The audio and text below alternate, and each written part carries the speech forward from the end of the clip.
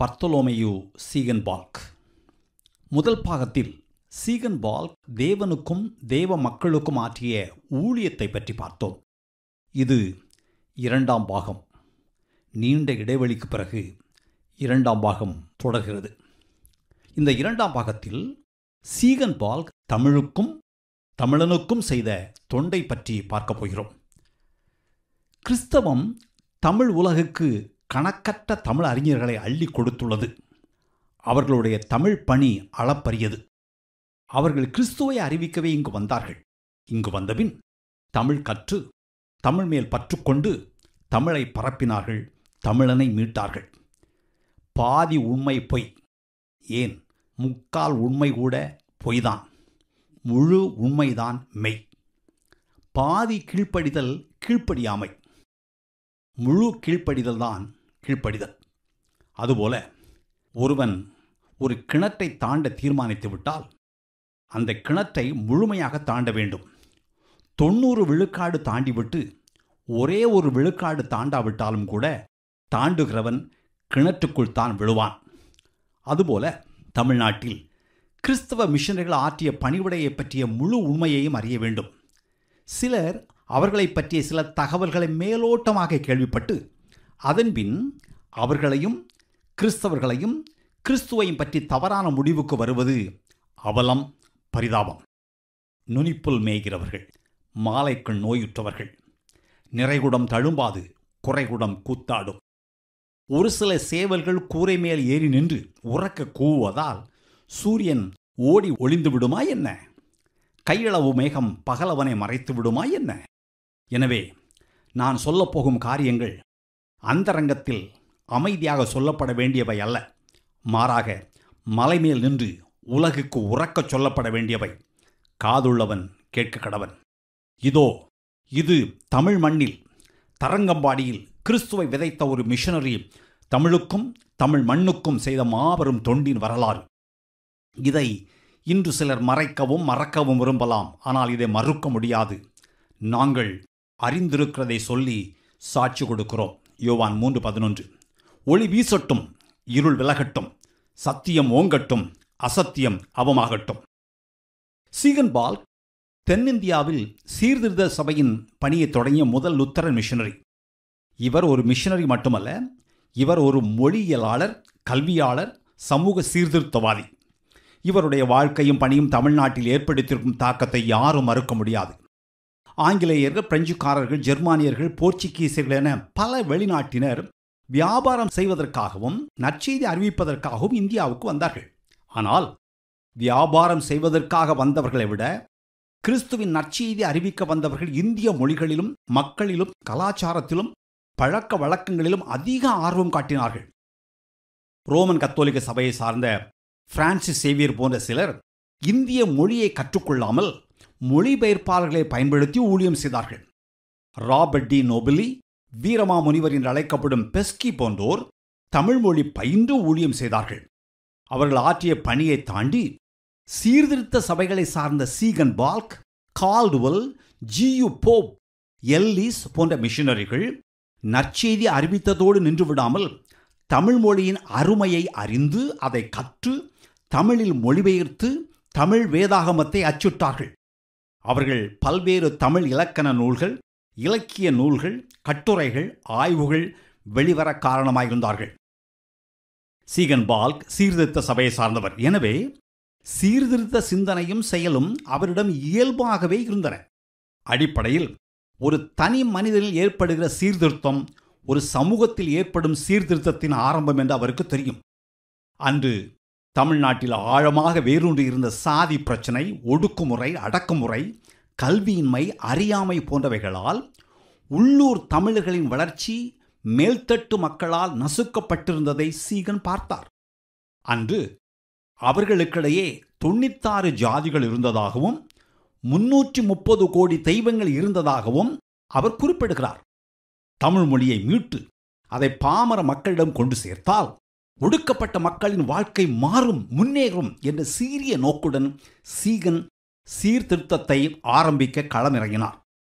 ஒரு மொழி என்பது வெறுமனே ஒரு தகவல் தொடர்பு ஊடகம் மட்டுமல்ல மொழியற்ற வாழ்க்கை நலமற்ற வாழ்க்கை. ஒரு பொருளை அறிவதற்கும் புரிவதற்கும் உணர்வதற்கும் ஆராய்வதற்கும் மொழி அவசியம்.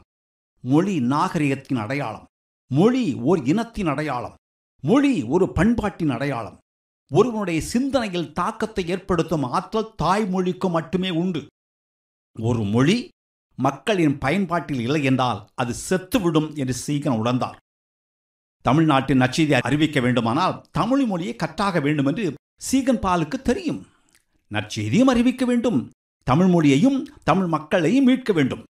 அவருடைய தமிழ் மொழி ஆர்வமும் நற்செய்தி அறிவிக்கும் தாகமும் சேர்ந்தே சென்றன. அந்த காலகட்டத்தில் தமிழ் மொழியை எழுத படிக்க தெரிந்த மக்களின் விழுக்காடு மிக மிக குறைவு. இன்று இரண்டாயிரத்தி இருபத்தி நான்கில் தமிழ்நாட்டில் எழுத்தறிவு பெற்றவர்கள் எண்பத்தி ஏழு விழுக்காடு. முன்னூற்றி இருபது ஆண்டுகளுக்கு முன் தமிழ்நாட்டில் இரண்டு விழுக்காடு மக்களே கல்வி அறிவு பெற்றிருந்தார்கள் என்றும் அந்த இரண்டு விழுக்காடு கல்வி அறிவு பெற்றவர்கள் பிராமணர்கள் மட்டுமே என்றும் சீகன் பால்கின் நாளேட்டிலிருந்து நாம் அறிகிறோம்.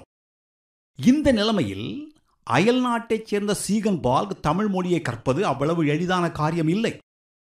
திறமையான தமிழ் ஆசிரியர் கிடைக்கவில்லை. அச்சு வடிவில் புத்தகம் இல்லை கடைசியாக ஒரு ஆசிரியர் கிடைத்தார்.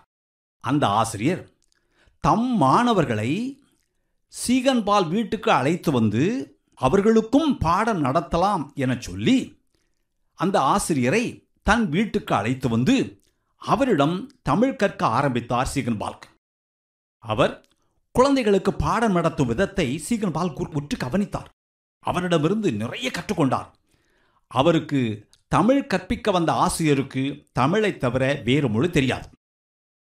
அழகப்பன் முதலியப்பன் என்ற தமிழ் நண்பர்களின் உதவியோடு தரங்கம்பாடியின் கடற்கரை மணலில் கை விரல்களால் தமிழ் எழுத்துக்களின் வரிவடிவங்களை எழுதி படிக்க ஆரம்பித்தார் சீகன் பால்க். அவர் தமிழை எழுதவும் வாசிக்கவும் கற்றுக்கொண்டார். ஆனால் வார்த்தைகளின் பொருளை தெரிந்து கொள்ள உதவி செய்ய அவருக்கு ஒரு மொழிபெயர்ப்பாளர் தேவைப்பட்டார். நாற்பத்தி ஆறு வயதுடைய அலப்பா என்ற ஒரு உதவியாளர் கிடைத்தார். அலப்பாவுக்கு போர்ச்சுகீசு ஜெர்மனி டச்சு போன்ற பல மொழிகள் தெரியும். அவருடைய உதவியுடன் சீகன் பால்க் நிறைய காரியங்களை அறிந்து கொண்டார். சீகன் தமிழ்நாட்டுக்கு வந்தபின் முதல் மூன்று ஆண்டுகள் அவர் மற்றவர்களுடன் தமிழில் மட்டுமே பேசினார் தமிழ் நூல்களை மட்டுமே வாசித்தார். அந்த காலகட்டத்தில் அவர் ஜெர்மானிய லத்தீன் நூல்களை படிக்கவில்லை. தமிழ் படித்துக் கொண்டிருந்த காலகட்டத்திலேயே அவர் தமிழிலிருந்து ஜெர்மனிக்கும் ஜெர்மனியிலிருந்து தமிழுக்கும் மொழியாக்கம் செய்தார். தன் மொழிபெயர்ப்பாளரான அலப்பா தன் தமிழ் நண்பர்களான அழகப்பன் முதலியப்பன் ஆகியவர்களின் உதவியோடு ஐயாயிரம் தமிழ் வார்த்தைகளை தேர்ந்தெடுத்து அவர் மனப்பாடம் செய்தார். அலப்பா மொழிபெயர்ப்பாளர் அழகப்பன் கவிஞர். முதலியப்பன் எழுத்தாளர். தமிழ் இலக்கண இலக்கியங்களை கற்க அவர் தினமும் ஒன்பது மணி நேரம் செலவழித்தார். எட்டு மாதங்களில் அவர் தமிழை தன் தாய்மொழி போல் பேசவும் எழுதவும் கற்றுக்கொண்டார். அவர் படித்த முதல் தமிழ் நூல் தொல்காப்பியம். எத்தனை தமிழர்கள் தொல்காப்பியம் படித்திருப்பார்கள்? பள்ளி கல்லூரிகளில் ஒருவேளை தேர்வுக்காக சில பகுதிகளை சிலர் படித்திருக்கலாம். இரண்டே ஆண்டுகளில் அவர் தான் கற்றதை வாசிக்கவும் பிறர் வாசிப்பதை கவனமாக கேட்டு தெருக்களிலும் சந்தைகளிலும் கடைகளிலும் சந்திக்கின்ற எல்லாரோடும் தமிழில் பேசி அதன் மூலம் தமிழில் தேர்ச்சி பெற்றார். சீகன் இங்கு வந்த இரண்டே ஆண்டுகளில் நூற்றுக்கணக்கான தமிழ் ஓலைச்சுவடிகளை சேகரித்தார். அன்று அது ஒரு பெரிய நூலகமாகவே இருந்திருக்கும். அவைகளில் ரோமன் கத்தோலிக்க சபையின் மிஷனரிகள் எழுதிய இருபத்தோரு புத்தகங்கள் உள்ளூர் புலவர்கள் எழுதிய நூற்றி பத்தொன்பது புத்தகங்கள் முகமதிகள் எழுதிய பதினோரு புத்தகங்கள் அடங்கும். அவைகளை அவர் நல்ல காலம் ஜெர்மனிக்கு அனுப்பி வைத்தார். இங்கு இருந்திருந்தால் ஒருவேளை அவை அழிந்திருக்கும் என்று கூட சொல்லலாம். அவர் தன் உதவியாளர்களை எல்லா இடங்களுக்கும் அனுப்பி இந்த சுவடிகளை சேகரித்தார். இந்த சுவடிகளின் அருமை தெரியாதவைகள் அவைகளை மலிவு விலைக்கு அவருக்கு கொடுத்தார்கள் அவரிடம் விற்றார்கள்.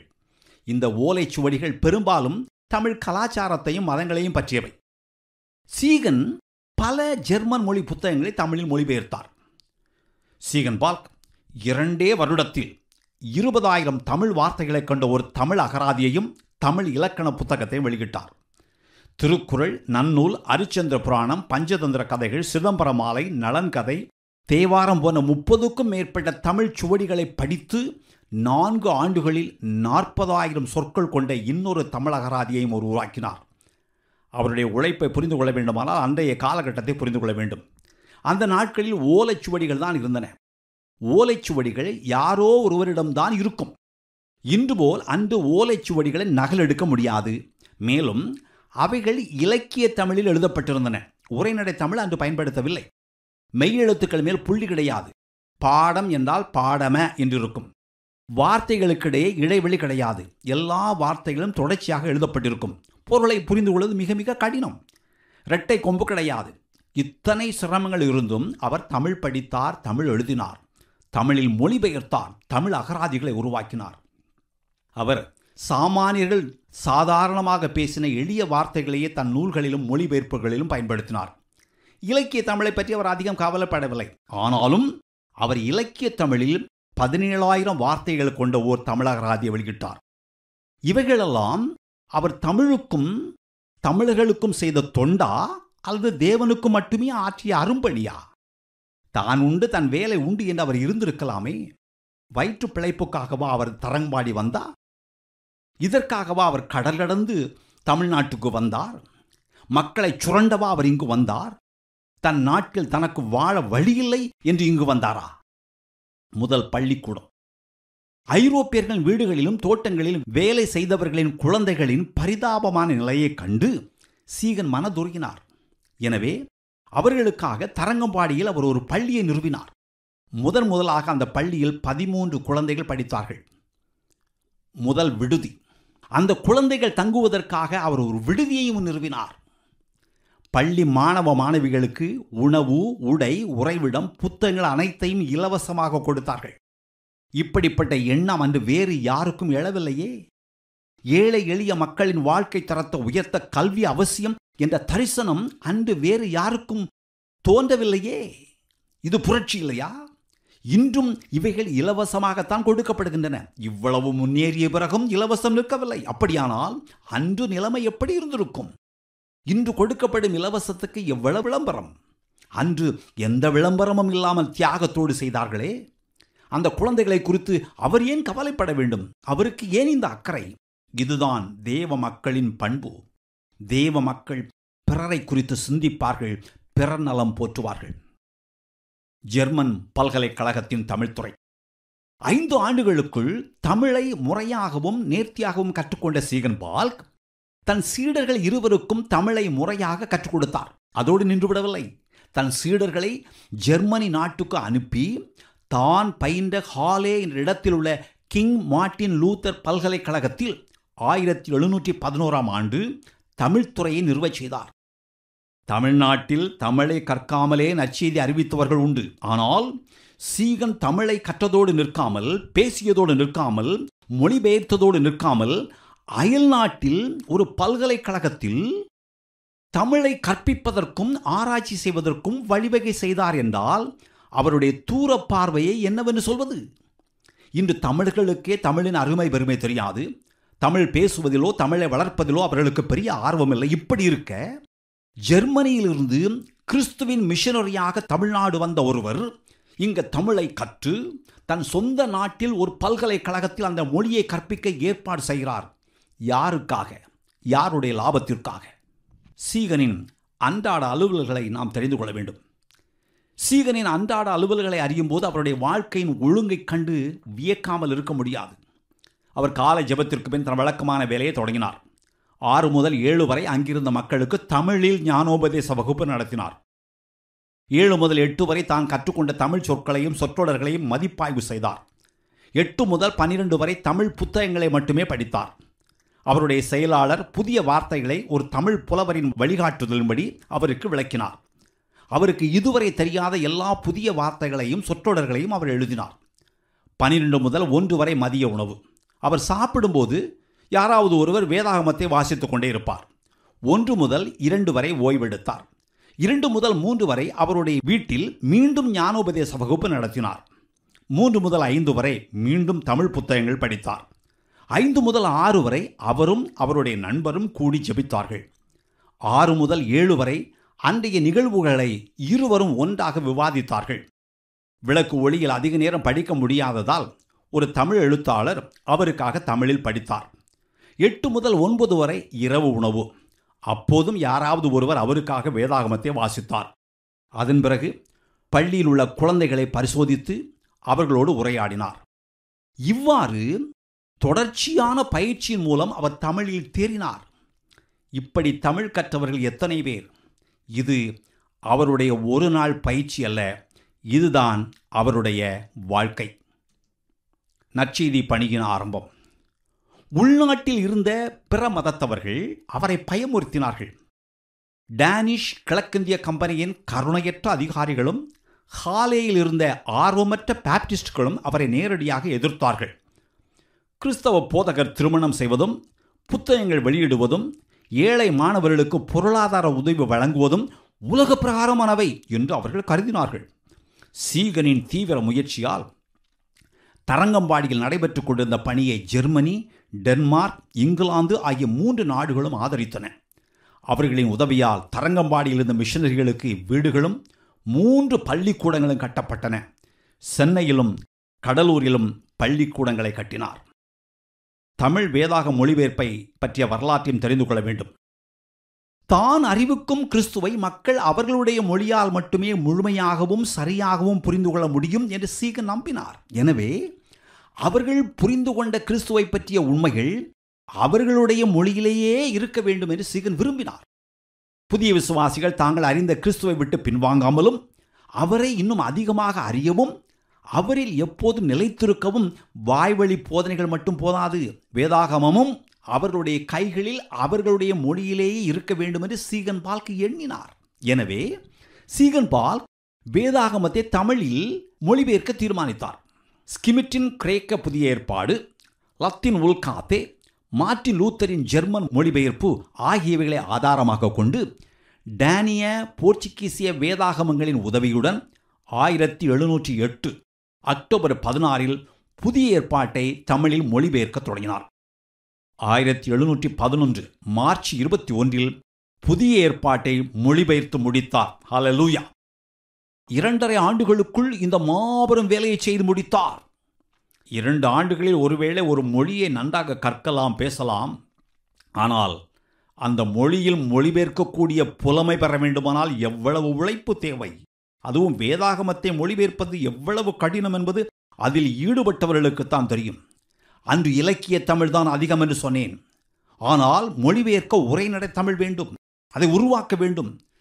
சொன்னேன் அன்று மெய்யெழுத்து மேல் புள்ளி கிடையாது இரட்டை கொம்பு கிடையாது வார்த்தைகளுக்கு இடையே இடைவெளி கிடையாது ஓலை சுவடிகள் தான் இருந்தன. அத்தனை தடைகளையும் தாண்டி அவர் வேதாகமத்தை மொழிபெயர்த்தால் என்றால் அது ஆச்சரியமே அதிசயமே அற்புதமே. அவர் தன்னந்தனியாகவே மொழிபெயர்த்தார். உதவிக்கு ஆள் இருந்தால் நன்றாக இருந்திருக்கும். ஆனால் உதவிக்கு ஆள் கிடைக்கவில்லை. எழுத்து பிழை இல்லாமல் ஒரு வாக்கியத்தை மொழிபெயர்க்கவோ எழுதவோ அன்று அவருக்கு ஒரு ஆள் கூட கிடைக்கவில்லை. அவருடைய உதவியாளர் அலப்பாவுக்கு பல மொழிகள் தெரியும். வார்த்தைகளுக்கு பொருள் தெரியும். ஆனால் அவருக்கு தமிழ் இலக்கணம் தெரியாது. பிற மொழிகளின் இலக்கணமும் தெரியாது. வேதாகமத்தை தமிழில் மொழிபெயர்ப்பது அவருக்கு ஒரு பெரிய சவாலாகவே இருந்தது. இந்தியாவில் அதுவரை வேறு யாரும் வேதாகமத்தை தமிழில் மொழிபெயர்த்திருக்கவில்லை. மேலும் மூல மொழியில் இருந்த சில வார்த்தைகளுக்கு நேரடியான கிறிஸ்தவ வார்த்தைகள் கிடைக்கவில்லை. எனவே அவர் பிற மத புத்தகங்களில் இருந்த சாமானியர்களின் பேச்சு வழக்கில் இருந்த சில வார்த்தைகளை பயன்படுத்தினார். ரோமன் கத்தோலிக்க சபையார் ஏற்கனவே தமிழ் ஆராதனை முறையில் சில பதங்களை மொழிபெயர்த்திருந்தார்கள். அவைகளையும் அவர் தன் மொழிபெயர்ப்பில் பயன்படுத்தினார். எடுத்துக்காட்டாக ரோமன் கத்தோலிக்கர்கள் அந்நாட்களில் தேவன் என்ற பதத்தை சர்வேஸ்வரன் என்று மொழிபெயர்த்திருந்தார்கள். எனவே சீகன் பால்க்கும் அந்த வார்த்தையே பயன்படுத்தினார். ஒரு வழியாக ஒரு மொழிபெயர்த்து முடித்தார். ஆனால் மொழிபெயர்த்த வேதாகமத்தை அச்சியற்ற பல தடைகள். இந்திய வரலாற்றில் முதன் முதலாக உருவாக்கப்பட்ட தமிழ் மொழி புதிய ஏற்பாட்டை அச்சியற்ற அநேக தடைகள் ஏற்பட்டன. தரங்கம்பாடியில் சீகனின் அச்செய்தி ஊழியத்தை பற்றி இங்கிலாந்து டென்மார்க் ஜெர்மனி ஆகிய நாடுகளில் இருந்த கிறிஸ்தவர்கள் கேள்விப்பட்டார்கள். அவருடைய ஊழியத்தை ஊக்குவிக்கும் வகையில் அவருடைய ஊழியங்களையும் மொழிபெயர்ப்பு பணிகளையும் பாராட்டி இங்கிலாந்தில் இருந்த society for promoting Christian knowledge என்ற நிறுவனத்தார் ஆயிரத்தி எழுநூற்றி பன்னிரெண்டாம் ஆண்டு தரங்கம்பாடிக்கு ஒரு அச்சு இயந்திரத்தை அனுப்பினார்கள். அச்சு இயந்திரத்தை மட்டுமல்ல அதை இயக்க தெரிந்த ஜோனாஸ் பிங்கே என்பவரையும் கூடவே அனுப்பினார்கள். அவர் அப்போது லண்டனில் இருந்து ஒரு ஜெர்மன் பள்ளியில் ஆசிரியராக பணியாற்றி கொண்டிருந்தார். ஆனால் அச்சு எந்திரத்தை கொண்டு வந்த கப்பலை பிரெஞ்சு படைகள் பிரேசில் அருகே கைப்பற்றிவிட்டன. ஜோனாஸ் பிங்கே போர்க்கைதியாக கொண்டு போகப்பட்டார். சென்னை நகர ஆளுநர் பிரெஞ்சு படைகளுக்கு உரிய பணம் கொடுத்து கப்பலை மீட்டார். பயணம் தொடர்ந்தது. ஆனால் ஜோனாஸ் பிங்கே ஒரு விதமான காய்ச்சலினால் பாதிக்கப்பட்டு நன்னம்பிக்கை முனை அருகே அச்சு இயந்திரமும் புத்தகங்களும் தாள்களும் ஆயிரத்தி எழுநூற்றி பன்னிரெண்டு ஆகஸ்ட் மாதம் இந்தியா வந்தடைந்தன. முதல் முதலாக ஆயிரத்தி எழுநூற்றி பன்னிரெண்டில் போர்ச்சுகீசிய மொழியில் புத்தகங்கள் அச்சிட்டார்கள். ஆயிரத்தி எழுநூற்றி பதிமூன்றில் ஞானோபதேச புத்தகங்கள் பாடல் புத்தகம் தரங்கம்பாடி பள்ளிகளை பற்றிய அறிக்கைகள் கிறிஸ்துவின் பாடுகளை பற்றிய கையேடுகள் ஆகியவைகளை அச்சிட்டார்கள். அதன்பின் தமிழ் அச்சகத்தை நிறுவினார்கள். அதற்கு ஜெர்மனியில் இருந்த அவருடைய நண்பர்கள் உதவினார்கள். அவர்களுக்கு தமிழ் தெரியாவிட்டாலும் கூட அவர்கள் தமிழ் எழுத்துருக்களை வடிவமைத்து தரங்கம்பாடிக்கு அனுப்பினார்கள். அந்த எழுத்துக்களை கொண்டு முதல் முதலாக தமிழில் அப்போசல்களின் விசுவாச பிரமாணத்தை அச்சிட்டார்கள் அவர்கள் அச்சு இயந்திரத்தை அனுப்பியபோது Johann Berlin Johann Gottlieb Adler அவருடைய பதினான்கு வயதான இன்னொரு சகோதரன் ஆகிய மூவரையும் கூடவே அனுப்பினார்கள். பெர்லின் போர்ச்சுகீசிய அச்சகத்தையும் பள்ளியையும் கவனித்துக் கொண்டார். ஜெர்மனியில் அனுப்பிய எழுத்துருக்கள் பெரியதாக இருந்ததால் அட்லர் சிறிய எழுத்துருக்களை வடிவமைக்கும் பணியை உடனடியாக மேற்கொண்டார். அச்சு இயந்திரம் இருக்கிறது. அச்சு எழுத்துக்கள் தயாராகிவிட்டன. அச்சடிக்க தாழ் வேண்டுமே. தாளுக்கு எங்கே போவது? இறக்குமதி செய்யலாமா? இறக்குமதி செய்ய நிறைய பணம் செலவாகுமே. சீகன்பால் தமிழை அச்சுத்தமிழாக்கிய நேரத்தில் இங்கு காகித பற்றாக்குறை இருந்தது. அதை சமாளிப்பதற்காக அவர் பொறையாறில் காகித பட்டறை ஒன்றை நிறுவினார். அச்சு இயந்திரம் தயார் அச்சு எழுத்துக்கள் தயார் மொழிபெயர்ப்பு தயார் தாளும் இருக்கிறது. இப்போது இன்னொரு பிரச்சனை. அச்சு இயந்திரத்தை இயக்க வந்தவர் வழியில் இறந்து விட்டாரே அதை இயக்க ஆள் வேண்டுமே. எனவே அச்சு வேலை தெரிந்த ஒருவரை கண்டுபிடிக்க வேண்டியிருந்தது. தரங்கம்பாடியில் இருந்த ஒரு டேனிஷ் போர் வீரனுக்கு அச்சு வேலை தெரியும் என்று கேள்விப்பட்டு அவரை கண்டுபிடித்தார்கள். ஒரு வழியாக ஆயிரத்தி எழுநூற்றி பதிமூன்றில் புதிய ஏற்பாட்டை அச்சிலேற்றும் வேலையை ஆரம்பித்தார்கள். இவ்வளவு தடைகளையும் தாண்டி நான்கு நற்செய்திகளும் அப்போஸ் நடவடிக்கைகளும் அடங்கிய தமிழ் புதிய ஏற்பாட்டின் முதல் பாகம் ஆயிரத்தி எழுநூற்றி பதினான்கிலும் மீதி புத்தகங்கள் அடங்கிய இரண்டாம் பாகம் ஆயிரத்தி எழுநூற்றி பதினைந்து ஜூலை பதினைந்திலும் அச்சடிக்கப்பட்டு வெளிவந்தன. புதிய ஏற்பாட்டை அச்சேற்றிய போது அதற்கு வேத புஸ்தகம் என்று பெயர் கொடுத்தார்கள். இதுதான் இந்திய மொழியில் முதலாவது வெளியான அச்சுநூல். முதல் முதலாக தமிழ் நாட்காட்டியையும் வெளியிட்டு தமிழுக்கு அணி சேர்த்த இவர் இலக்கிய நடையில் இருந்த தமிழை உரைநடை தமிழுக்கு மாற்றியவர் என்ற பெருமைக்குரியவர். இந்திய மக்கள் ஜாதி கொடுமையினால் தங்கள் சொந்த மத புத்தகங்களை கூட படிக்க முடியாமல் உரிமைகள் மறுக்கப்பட்ட நிலையில் அவர்களுக்கு புதிய ஏற்பாட்டை படிக்க கொடுத்தவர் சீகன் பால்க். இது புரட்சி இல்லையா? இறுதியாக ஓலைச் சுவடிகளின் பக்கம் தன் பார்வையை திருப்பிய சீகன்பால் தமிழ் ஓலைச் சுவடிகளையும் அச்சில் ஏற்றுவதற்கான முயற்சிகளை முன்னெடுத்தார். ஆனால் அம்முயற்சி முழு வடிவம் பெறவில்லை. இன்று வேதாகமமும் உரைநடை தமிழும் அனைத்து வகையான பாடங்களும் எளிய முறையில் ஏழைகளுக்கும் தாளில் கிடைக்கின்றன. இவ்வாறு தமிழ் வளர்ந்திருப்பதற்கு அடித்தளம் உரைநடையும் அதை தாளில் அச்சுட்டதுமே ஆகும். அதை செய்தவர் சீகன்பால் பழைய ஏற்பாடும் இறையியல் கல்லூரியும்.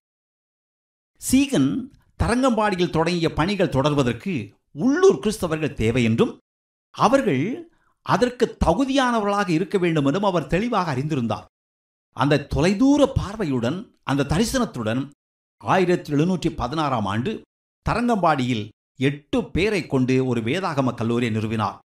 இதுவே இந்தியாவில் ஆரம்பிக்கப்பட்ட சீர்திருத்த சபையின் முதல் இறையியல் கல்லூரி ஆகும் பரிசுத்த வேதாகமம் ஒரே ஒரு சாதியினருக்கு மட்டும் உரியதல்ல அது அனைத்து தரப்பினருக்கும் உரியது என்று அவர் அதன் மூலம் நிரூபித்தார். இந்தியாவில் பிராமணர்கள் மட்டுமே வேதத்தை கற்கவும் கற்பிக்கவும் தகுதியானவர்கள் என்று இருந்த நிலையை மாற்றி தாழ்த்தப்பட்ட இனத்தாரும் வேதத்தை கற்கவும் கற்பிக்கவும் கிறிஸ்துவின் அதிகாரம் பெற்றவர்கள் என்பதை மொழி விடுதலை பணி மூலம் அவர் எடுத்துரைத்தார். இந்து மதத்திலிருந்து கிறிஸ்தவரான ஆரோன் என்பவர் ஆயிரத்தி எழுநூற்றி முப்பத்தி மூன்றாம் ஆண்டு தமிழ் லுத்தரன் திருச்சபையின் முதல் போதகராக பிரதிஷ்டை செய்யப்பட்டார். கிறிஸ்துவ மிஷனரிகள் இந்தியாவில் வெறுமனே கிறிஸ்தவத்தை பரப்ப வந்தவர்கள் எண்ணுவது மிக குறுகிய கண்ணோட்டம். கிறிஸ்தவ மிஷனரிகள் வேதாகமத்தையும் வேதாகமத்தோடு தொடர்புடைய புத்தகங்களை மட்டுமே மொழிபெயர்த்து வெளியிட்டார்கள் என்பதும் மிகவும் மேம்போக்கான புரிதல் மேலோட்டமான முடிவு. கிறிஸ்தவத்தையும் தமிழையும் பிரிக்க முடியாது. கிறிஸ்தவ மிஷனரிகள் தமிழ்நாட்டுக்கு வராதிருந்தால் தமிழுக்கு இணையான மொழி வேறு இல்லை என்று உலகம் அறிந்திருக்காது. உலகின் முதல் மொழி தமிழ் மொழி என்ற உண்மையை உலகிற்கு சொன்னவர் தேவநேய பாவாணர். ஆனால் உலகெங்கும் தமிழை கொண்டு சென்றது தமிழ்நாடு அல்ல கிறிஸ்தவம். ஆம் இங்கு வந்த கிறிஸ்தவ மிஷனரிகள் சென்ற இடமெல்லாம் கிறிஸ்தவத்தை பரப்பினார்களோ இல்லையோ தமிழையும் தமிழ் இலக்கியங்களையும் படித்து தமிழையும் பரப்பினார்கள். கிறிஸ்தவ மிஷனரிகள் தமிழ் கற்றார்கள். கிறிஸ்தவ மிஷனரிகள் தமிழ் கற்றார்கள் என்பது மட்டுமல்ல தாங்கள் கற்ற தமிழை தங்கள் நாடுகளில் பரப்பினார்கள். அச்சு வரவில்லை என்றால் வேதாகமம் வந்திருக்காது கிறிஸ்தவம் வளர்ந்திருக்கிறாது என்பது ஒருபுறம் இருக்கட்டும் உண்மைதான். ஆனால் மற்றொரு புறம் அச்சு வரவில்லை என்றால் சங்க இலக்கியங்கள் அனைத்தும் காணாமல் போயிருக்கும் திருக்குறள் காணாமல் போயிருக்கும். அன்று ஏற்கனவே அனல்வாதத்திலும் புனல்வாதத்திலும் நிறைய நூல்கள் எரிந்தும் அழிந்தும் போய்விட்டன. சீகன் பால்கின் பணியை இந்திய அரசாங்கம் அங்கீகரித்து ரெண்டாயிரத்தி ஆறாம் ஆண்டு அவருடைய முன்னூறாவது ஆண்டு நினைவு நாளை கொண்டாடும் விதமாக தபால் தலை ஒன்றை வெளியிட்டு அவருக்கு புகழாரம் சூட்டியது.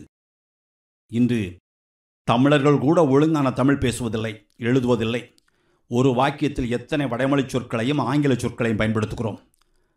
பின்னாட்களில் தங்களைப் போல் தமிழ் கற்க விரும்பும் வெளிநாட்டினர் எளிமையாக தமிழ் கற்பதற்காக தமிழ் இலக்கண நூல்கள் அகராதிகள் சொற்களஞ்சியங்கள் என பல நூல்கள் எழுதினார்கள். பேச்சு தமிழை கற்பதற்காகவும் நூல்கள் அகராதிகள் எழுதினார்கள். அவர் தமிழ்நாட்டில் இருந்த முதல் இரண்டு ஆண்டுகளில் நூற்றி அறுபத்தோரு தமிழ் புத்தகங்களை சேகரித்தார். அவைகளுள் பதினாறு நூல்கள் சீகன்பால் எழுதிய தமிழ் நூல்கள். ஒவ்வொரு நாளும் எட்டரை மணி நேர தீவிர தமிழ் பயிற்சி மேற்கொண்டார். அன்றைய தமிழ் இலக்கியவாதிகள் சராசரி மனிதனின் சமயம் சமூகவியல் பண்பாடு வாழ்வியல் முறைகள் ஆகியவைகளில் அதிக அக்கறை காட்டவில்லை. அவர்கள் கடவுள்களையும் அரசர்களையும் போட்டி போட்டு கொண்டு பாடினார்கள். இந்த சூழ்நிலையில் சீகன்பால் செய்தவை மகத்தானவை. இலக்கிய நடையிலிருந்து உரைநடைக்கு விடுதலை கொடுத்தார். தமிழ் மொழியின் இலக்கிய நடை ஓலைச் சுவடிகள் வடிவம் கற்றவர் மொழி போன்ற அடிமைத்தனத்திலிருந்து சீகன் விடுதலை ஏற்படுத்தினார். தமிழ் பண்பாடு தழைக்க வேண்டுமானால் அதன் இலக்கியம் புறக்கணிக்கப்படக்கூடாது. இலக்கியம் பாதுகாக்கப்பட வேண்டுமானால் அது அனைத்து மக்களையும் சென்றடைய வேண்டும். அதற்கு மொழி பரிமாற்றம் அவசியம். அப்பரிமாற்றத்தை தமிழ் லத்தீன் ஜெர்மன் போன்ற மொழிகளிடையே ஏற்படுத்தியவர் சிகன்பால் தமிழ்நாட்டில் தமிழ் உரைநடையின் தந்தை என சிறப்பிக்கப்படும் ஆறுமுக நாவலரும் தாண்டவராய முதலியாரும் தமிழ் உரைநடை வளர்ச்சிக்கு பெருந்தொண்டு புரிந்தார்கள் என்றால் அவர்களுக்கு ஆணிவேராக இருந்தவர் சீகன் பால்க். சீகன் பால்க் தமிழ் இலக்கியங்களின் உச்சத்தை தொடவில்லை என்பது உண்மை. அவரை தொடர்ந்து வந்த கால்டுவல் ஜியு போ போன்றவர்கள் திருக்குறள் போன்ற தமிழ் இலக்கியங்களை பல்வேறு மொழிகளில் மொழிபெயர்த்து ஊரே அறியாத திருக்குறளை உலகறியே செய்தார்கள். ஆனால் இதற்கு வித்திட்ட முன்னோடி சீகன் பால்க். தமிழ் இலக்கியத்தில் கவிதை வேறு உரைநடை வேறு பேச்சு தமிழ் வேறு மேடை தமிழ் வேறு. பேச்சு தமிழை மட்டும் அறிந்த தாழ்த்தப்பட்ட இனத்தவர் மேடை தமிழை கேட்கவோ எழுத்து தமிழை படிக்கவோ எழுதவோ வாய்ப்பில்லாமல் இருந்ததால் கல்வி அறிவு அவர்களுக்கு காணல் நீராக இருந்தது. தமிழ்மொழி அடிப்படையில் ஓர் இலக்கிய மொழி. ஓலைச் சுவடிகளில் உரைநடையை பயன்படுத்த முடியாததால் இலக்கியத்தில் உரைநடையை அதிகமாக பயன்படுத்தவில்லை. இலக்கிய நடையை இன்று போல் அன்றும் சாதாரண மக்கள் புரிந்து கொள்ளவில்லை. பாடல்கள் கவிதைகள் உருவகங்கள் ஓமைகள் என்ற நிலையில் இருந்த இலக்கிய தமிழை எளியோரும் புரிந்து கொள்ளுமாறு உரைநடை தமிழாக எளிமைப்படுத்திய பெருமை சீகன் பால்கச்சாரும். சாரும் அவருக்கு முன் ராபர்ட் டி நோபல் எழுதியிருந்தார். ஆனால் அது பெரும்பாலும் சமய சார்புடைய வட சொல்லும் மேனாட்டு மொழியும் கலந்த ஒரு கொச்சை மொழியாக இருந்தது. எனவே சீகன் பால்கின் உரைநடை தமிழை பெரும்பாலோர் வரவேற்றார்கள். ஏனென்றால் உரைநடை பேச்சு வழக்குடன் தொடர்புடையது. அனைவரும் புரிந்து கொள்ளும் வகையில் சீகன் பால்க் ஒரு தமிழ் இலக்கண நூலை உரைநடையில் எழுதினார். அவருடைய தமிழ்நடை எளிமையானது. அவர் தம்மை சுற்றியிருந்த சாதாரண மக்கள் பேசிய தமிழ்நடையிலே எழுதினார். எடுத்துக்காட்டாக முடி என்பதற்கு மக்களுடைய வழக்கத்தில் இருந்த மயிர் என்ற பொதுவான வார்த்தையை பயன்படுத்தினார். ஆனால் பெஸ்கி பாமர மக்களின் வழக்கத்தில் இல்லாத கேசம் என்ற வார்த்தையை பயன்படுத்தினார். பெஸ்கி சீகன் பால்கின் நடையை ஆதரிக்கவில்லை. ஏனென்றால் பெஸ்கி இலக்கிய நடையை விரும்பினார். நோபிலி பெஸ்கி போன்றோர் இயேசு சபையை சார்ந்தவர்கள். அவர்கள் பெரும்பாலும் கற்றவர்களையே இலக்காக வைத்து செயல்பட்டார்கள். அவர்கள் பாமர மக்களின் மொழியை கற்காமல் மேல்தொட்டு மக்களின் மொழிக்கு ஏற்ப இலக்கியங்களை கற்று பல்வேறு இலக்கியங்களை எழுதினார்கள். சீகன்பால் தமிழ் மொழியின் அண்டை நிலையை புரிந்து கொண்டார். பிராமணர்கள் தாங்கள் உருவாக்கிய சமஸ்கிருத மொழியை இறைமொழியாக முன்வைப்பதற்காகவும் தமிழ் மொழியில் உள்ள சமய கருத்துக்களை பின்தழுவதற்காகவும் தமிழையும் தமிழர்களையும் அவர்கள் தாழ்ந்தவர்களாக சித்தரித்தார்கள். அன்று பிராமணர்களே ஐரோப்பியர்களுக்கு நெருக்கமாக இருந்ததால் அவர்களுடைய ஆலோசனையின்படி ஐரோப்பிய கிறிஸ்தவர்கள் அநேகர் தமிழையும் தமிழரையும் சரியாக புரிந்து கொள்ளவில்லை. அவர்கள் தமிழ் மொழியை ஏளனமாக எண்ணி ஒதுக்கினார்கள். தமிழரை அநாகரிகமானவனாக கருதினார்கள்.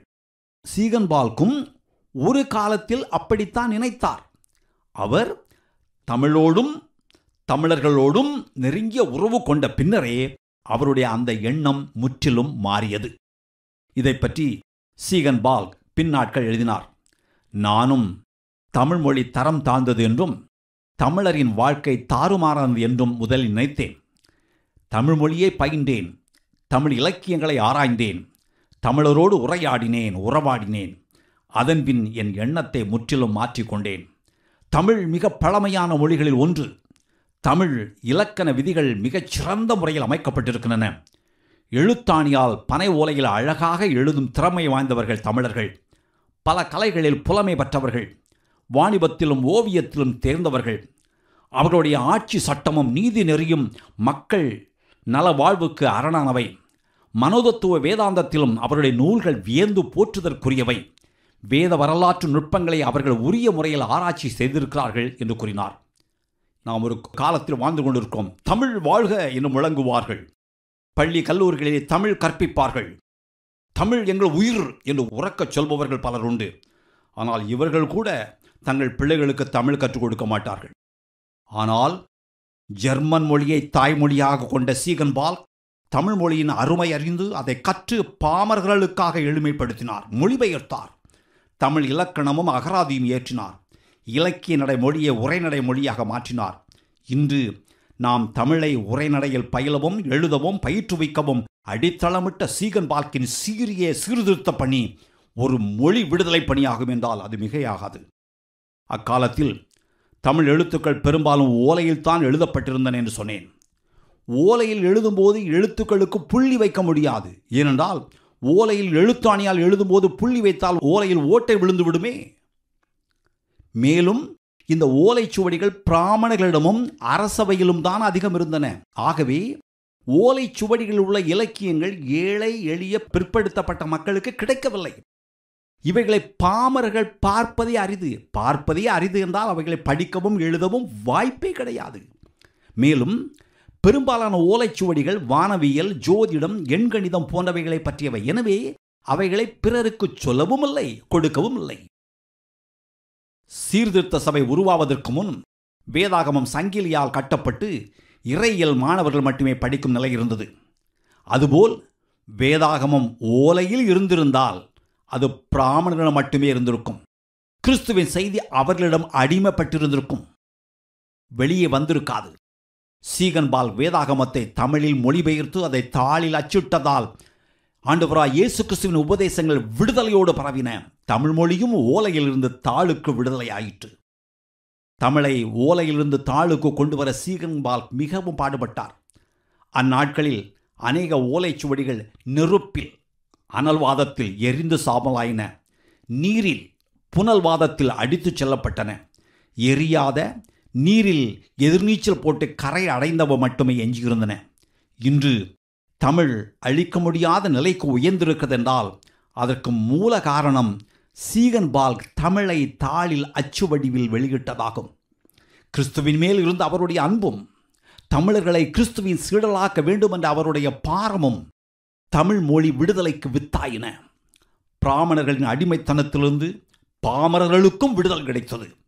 இன்றைய நவீன பத்திரிகைகள் வார நாளிதழ்கள் நாளிதழ்கள் ஆகியவைகளின் வளர்ச்சிக்கு பெரும் உதவியாக இருந்தது சீகனின் தமிழ் விடுதலை பணியாகும்.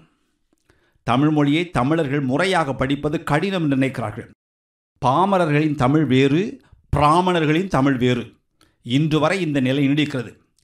பெஸ்கி மதுரையில் இருந்த ஒரு பிராமணரிடம் தமிழ் கற்றார். எனவே அவருடைய மொழி வேறு.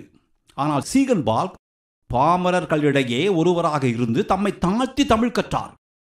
பெஸ்கி மரியாளையும் யோசேப்பையும் பற்றி தேம்பாமணி போன்ற இலக்கியங்களை எழுதினார். ஆனால் அதுபோன்ற இலக்கியங்களை விட பரிசுத்த வேதாகமம் தமிழில் அவசியம் என்பதை சீகன் உணர்ந்தார். ஆகவே அவருடைய மொழி பாமரர்களுக்கு ஏற்றதாக இருந்தது அவரவர் குலத்திற்கு இனத்திற்கு ஏற்றாற் போல மனிதர்களுக்கு பெயர் இருந்ததை அறிந்த சீகன் சில வார்த்தைகளின் ஓசையையும் வடிவத்தையும் மாற்றி பாமர மக்களுக்கு ஏற்றாற்போல் புதிய பெயர்களை கொடுத்து தமிழ் மொழி மூலம் சீகன் பால்க் சமூக விடுதலையை கொண்டு வந்தார். சீகன் பால்கின் பிராமண எதிர்ப்பு உலகறிந்தது. அவரே இன்றைய தமிழ்நாட்டின் பிராமண எதிர்ப்புக்கு விதை தூவியவர். மலபாரி பிராமணர்களுடன் அவர் நடத்திய விவாதங்களை கான்ஃபரன்ஸ் வித் மலபாரியன் பிராமின்ஸ் என்ற புத்தகமாக எழுதியிருக்கிறார். கண்ணனூரிலிருந்து கன்னியாகுமரி வரை இருக்கிற பகுதிகளை சீகன் பால்க் மலபார் என்று அழைத்தார். வழித்தோன்றலை உருவாக்காதவர்கள் சிறந்த தலைவர்கள் இல்லை. சீகன் பால் வெறுமனே மொழிபெயர்ப்பு பணியோடு நிறுத்திக் கொள்ளவில்லை. சீகன் அநேக வழித்தோன்றலை உருவாக்கினார். வழித்தோன்றல்கள் உருவாவதற்கு ஏற்ப பல நூல்களை எழுதினார். ஜெர்மானியர்கள் அவருக்கு பின் தமிழ்நாட்டிற்கு மிஷனரிகளாக வருவதற்கேற்ப தென்னிந்தியாவின் மத கொள்கைகள் பழக்க வழக்கங்கள் ஆசாரங்கள் இலக்கியங்கள் பாடல்கள் ஆகியவளை பற்றி ஒரு புத்தகம் ஜெர்மன் மொழியில் எழுதினார். லத்தீன் மொழியில் தமிழ் இலக்கணம் எழுதினார். தமிழ்நாட்டு தெய்வங்களின் பரம்பரையை பற்றிய ஒரு புத்தகத்தையும் எழுதினார். லத்தீன் மொழியில் தமிழ் இலக்கணம் கிரமாட்டிகா தமிழிகா தமிழ் ஜெர்மன் அகராதி என பல புத்தகங்கள் எழுதினார். நீதிவெண்பா கொன்றை வேந்தன் உலக நீதி என்ற புத்தகங்களை ஒன்று சேர்த்து நானாவித நூல்கள் என்ற புத்தகத்தையும் எழுதினார். கடவுள் மனிதன் சமயம் பண்பாடு போன்ற தலைப்புகளில் அவருடைய நூல்கள் இருந்தன. நாள்காட்டிய உருவாக்கியிருக்கிறார் சீகன் பால்க். இவருக்கு பின்பு தமிழ்நாடு வந்த ராபர்ட் கால்வல் ஜியு போப் எல்லிஸ் போன்றவர்கள் தமிழ் தொண்டை இன்னும் சிறப்பாக செய்ய சீகன் பால்க் அடித்தளம் அமைத்தார் என்றால் அது மிகையாகாது. அந்த நாட்களில் திண்ணை பள்ளிக்கூடம் தான் இருந்தது. வசதி படைத்தவர்கள் ஆசிரியருக்கு பணம் கொடுத்து கல்வி கற்றார்கள். அனைவருக்கும் கல்வி வேண்டும் என்ற தரிசனத்தோடு சீகன் பால்க் ஆண்களுக்கும் பெண்களுக்கும் குழந்தைகளுக்கும் தனித்தனியே பள்ளிகளை ஆரம்பித்தார். திண்ணை பள்ளியின் மாதிரியை பின்பற்றி பாடத்திட்டங்களையும் பாட புத்தகங்களையும் எழுதினார். பல்வேறு நூல்களிலிருந்து தேர்ந்தெடுக்கப்பட்ட பகுதிகளை ஒரு நூலாக்கி வகுப்பறையில் பயன்படுத்தும் முறை இவர் மூலம் அறிமுகமானது. ஒடுக்கப்பட்ட மக்கள் நினைத்து கூட பார்க்காத கல்வி அவர்களுக்கு கிடைத்தது. அன்று தமிழ் மொழியை கற்றுக்கொள்ள காலமும் செலவும் அதிகம் ஆனால் சீகன்பால் கதை எளிமையாக்கினார். அவருடைய அரிய பணியால் இன்று அது நமக்கு எளிமையாயிற்று. அன்று எழுத்துக்களில் புள்ளி கிடையாது வார்த்தைகளுக்கிடையே இடைவெளி இருக்காது எல்லா வார்த்தைகளும் சேர்ந்தே இருக்கும் என்று சொன்னேன். ஆசானின் உதவி இல்லாமல் ஒரு பாமரனால் அவைகளை படிக்கவோ புரிந்து கொள்ளவோ இயலாது. ஓலைச்சுவடியில் நகல் எடுக்க முடியாது என்று சொன்னேன். ஆனால் இன்று தாளில் உள்ள செய்திகளை எளிதில் நகல் எடுக்கலாம். இப்படிப்பட்ட சூழ்நிலையில் தமிழ் மொழியை முறையாக கற்றுக்கொள்ள வேண்டும் என்ற அவசியத்தை ஒடுக்கப்பட்ட மக்களும் பெற்று சமூக சமய அரசியல் விடுதலை பெற சீகன்பால் உதவினார் என்றால் அதுதான் உண்மை. கிறிஸ்துவை அறிவிக்க வேண்டும் என்ற நோக்கத்தோடு தான் கிறிஸ்துவ மிஷனரிகள் இந்தியாவுக்கு வந்தார்கள் என்பது உண்மை. ஆனால் இங்கு வந்தபின் இங்கிருந்த சமூக அவலத்தையும் மொழியின் இழிநிலையையும் மக்களின் அறியாமையையும் கல்வியின்மையும் கண்கூடாக கண்டார்கள். அதை மாற்ற அவர்கள் இந்த மண்ணுக்கும் மக்களுக்கும் மொழிக்கும் ஆற்றிய தொண்டு மகத்தானது. தாங்கள் உண்டு தங்கள் கிறிஸ்து உண்டு என்று அவர்கள் இருந்திருக்கலாம் ஆனால் அப்படி இருக்கவில்லை. இந்தியா சுதந்திரம் பற்றி எழுபத்தைந்து ஆண்டுகள் ஆன பிறகும் அரசு இயந்திரங்களால் இன்னும் செய்ய முடியாத பல சாதனைகளை முந்நூறு ஆண்டுகளுக்கு முன் ஒரு சிலராக செய்தார்கள். இது எவ்வளவு பெரிய காரியம் தெரியுமா? அவர்கள் மக்களுக்கும் மொழிக்கும் மண்ணுக்கும் செய்த பணிவிட ஒரு மாபெரும் புரட்சி மாபெரும் திருப்புமுனை. அவர்களுடைய தொழிற்புரட்சியையும் மறக்க முடியாது. பாலை ஊற்ற பாத்திரம் வேண்டும். கிறிஸ்துவை அறிவிக்க மொழி தெரிய வேண்டும். எனவே மொழியை கற்றார்கள். கற்ற மொழியை கற்பித்தார்கள். தமிழ் அரிச்சுவடி சொற்களஞ்சியம் இலக்கண நூல் மக்களின் சமூக வாழ்வியல் குறித்த செய்திகள் என பல நூல்கள் எழுதினார்கள். நற்செய்தி பணியின் தொடர்ச்சியாக கல்வி பணியை முன்னெடுத்தார்கள். அவர்கள் நடத்திய இலவச பள்ளிக்கூடங்கள் அங்கு பின்பற்றப்பட்ட கால அட்டவணை கற்பிக்கப்பட்ட பாடத்திட்டங்கள் ஆண்களுக்கான பள்ளிகள் பெண்களுக்கான பள்ளிகள் என பதினெட்டாம் நூற்றாண்டில் தமிழ்நாட்டில் கிறிஸ்தவ மிஷனரிகள் மேற்கொண்ட கல்விப் பணிகள் மகத்தானவை. இப்பள்ளிகளில் தமிழ் கல்வியுடன் சமயக் கல்வியும் டேனிஷ் போர்ச்சுகீஸ் மொழியும் கற்பிக்கப்பட்டன. கல்வி மறுக்கப்பட்டிருந்த ஒடுக்கப்பட்டிருந்த மக்களுக்கும் கல்வி வழங்குவதில் அக்கறை காட்டினார்கள். ஆண்களும் பெண்களும் இணைந்து படிக்கக்கூடிய பள்ளிகள் தங்கும் விடுதிகளுடன் கூடிய பள்ளிகள் மாணவர்களுக்கு இலவச உணவு உடை மருத்துவ உதவிகள் வழங்கும் திட்டம் என பல பணிகளை மேற்கொண்டார்கள். பிற்காலத்தில் தமிழகத்தில் நச்செய்தி அறிவிக்க வரக்கூடியவர்களுக்கு உதவவும் அவர்களை தயார்படுத்தவும் ஐரோப்பிய பல்கலைக்கழகங்களில் தமிழை ஒரு பாடமாக பயிற்றுவிக்க அவர்கள் முயற்சியை மேற்கொண்டார்கள். கிறிஸ்தவ மிஷனரிகள் தமிழக மருத்துவம் நோய் தீர்க்கும் மூலிகை ஆகியவை குறித்து அறிந்து கொள்ள ஆர்வம் காட்டினார்கள். ஏனென்றால் இங்கு மிஷனரிகளாக வந்தவர்களில் பலர் இளம் வயதிலேயே மறித்தார்கள் இங்கு நிலவிய தட்பவெட்ப நிலை உணவு பழக்கம் வாழ்க்கை முறை ஆகியவை அவர்களுக்கு புதிது. எனவே பலர் உடல்நலம் கொண்டு இளமையிலேயே மறித்தார்கள் இந்த பிரச்சனையை தீர்க்க அவர்கள் நோய் தீர்க்கும் மூலிகைகளை தேடினார்கள். தமிழ் மருத்துவத்தை குறித்த சுவடிகளை சேகரித்தார்கள். தங்களுக்கு தெரிந்த மருத்துவத்தை குறித்த அறிவை தாங்கள் நடத்திய பள்ளியில் பயிலும் மாணவர்களுக்கு கற்பித்தார்கள். சீகன் பால்க் இந்தியாவுக்கு வந்த காலத்தில் தமிழ் மொழியை கார்மேகம் சூழ்ந்திருந்தது. தமிழ் மொழி இலக்கியம் தேக்கத்தில் ஆழ்ந்திருந்தது. அதனால் தமிழ்நாட்டின் அரசியல் பொருளாதாரம் சமுதாயம் அனைத்தும் வளர்ச்சியில் குன்றி போயிருந்தன. சீகன் பால் போன்ற கிறிஸ்தவ மிஷனரிகளின் வரவால் தமிழ் மொழி இருளிலிருந்து ஒளிக்கு வந்தது. வடமொழியின் துணையின்றி தமிழ் மொழியால் தனித்து இயங்க முடியாது என்ற கூற்றை பொய்யாக்கியவர் சிகன் பால்க். தமிழ் மொழியின் தனித்துவத்தையும் அதன் மதிப்பு வாய்ந்த இலக்கியங்களை தமிழர்கள் மட்டுமல்ல மேலை நாட்டவர்களும் அறியும்படி அதை பல்வேறு மொழிகளில் மொழிபெயர்ப்பதற்கு அடித்தளமாக இருந்தவர் சீகன் பால்க். இவருடைய முயற்சியால் அழிந்து போகவிருந்த பல்வேறு ஓலைச்சுவடிகள் கண்டுபிடிக்கப்பட்டு ஜெர்மன் இலக்கிய நடையான உரைநடை முறையில் நிறுத்தற் குறிகளோடு எழுதப்பட்டு பதிப்பிக்கப்பட்டு அச்சிடப்பட்டன. இவருடைய மொழி விடுதலை பணியால் உரைநடை இலக்கியத்திற்கு புதிய உந்து சக்தி கிடைத்தது. நிலவியல் அறிவியல் வரலாறு சிறு கதைகள் முதலிய துறைகள் தமிழில் இடம்பெற்றன. முதல் இந்திய சீர்திருத்த மிஷனரியும் முதல் இந்திய வேதாகமம் மொழிபெயர்ப்பாளருமான பத்தலோமைய சிகன்பால் தமிழ் மொழியில் முழு வேதாகமத்தையும் ஆர்வத்தோடு மொழிபெயர்த்து கொண்டிருந்த நேரத்தில் எதிர்பாராத முறையில் அவர் காலமானார். ஆயிரத்தி எழுநூற்றி பத்தொன்பது பிப்ரவரி இருபத்தி மூன்று தன் முப்பத்தாறாவது வயதில் மனைவியையும் இரண்டு மகன்களையும் தரங்கம்பாடியில் விட்டுவிட்டு தன் பூமைக்குரிய பயணத்தை முடித்து கொண்டார். அவருடைய உடல் தரங்கம்பாடியில் அவர் கட்டிய புதியருசலேம் ஆலயத்தில் பலிபிடத்தின் முன்பாக அடக்கம் செய்யப்பட்டது. சீகன் பால்க் இவர் இந்தியாவுக்கு வந்த முதல் சீர்திருத்த மிஷனரி.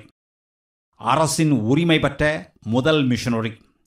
முதன் முதலாக இந்தியாவில் சீர்திருத்த சபை நற்செய்தியை பரப்பியவர் இந்தியாவில் முதல் காகித ஆலை நிறுவியவர்.